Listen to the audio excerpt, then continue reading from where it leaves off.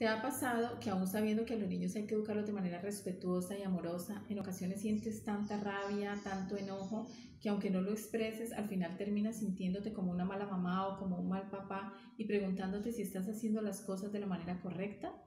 Quiero contarte que en el seminario de crianza coherente que ofrecen a ser feliz, aprendes a equilibrar tus emociones y aprendes cómo educar niños y niñas de una manera saludable y de una manera efectiva para que crezcan siendo auténticos, coherentes, tranquilos y felices. Así que déjame tus datos en el WhatsApp que aparece en la descripción de este video para contarte acerca de los resultados que estamos teniendo y para que generes la confianza suficiente de aprovechar esta oportunidad de convertirte en la mejor mamá y el mejor papá que tu hijo necesita y se merecen.